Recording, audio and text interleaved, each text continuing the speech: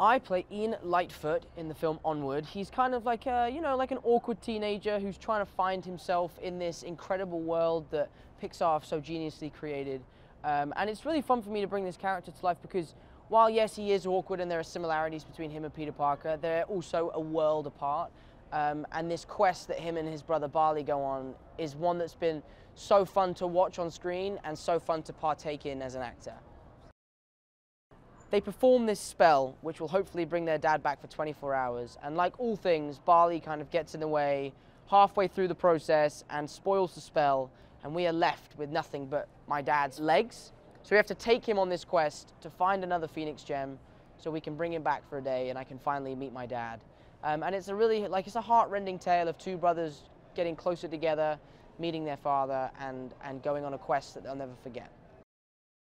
I mean, for me, the dream of working with Pixar was, you know, that was kind of the best part of the job. And then the fact that I got to do it with my buddy Chris was so cool. When I found out that he was going to play the role of Barley, I was super, super excited to jump back on screen with him. Um, so yeah, so it's been a real whirlwind, and there's so many things that have been so great about the process. I've learned a lot about filmmaking. It's a very different process to anything I'm used to, um, and uh, I'm very grateful to Pixar for giving me the opportunity. Ian's relationship to magic, he's he's quite jaded towards it at the beginning. Like he he, he resents it almost, and, and he knows that it's something of the past. And Barley seems to have this obsession with it, which really annoys Ian.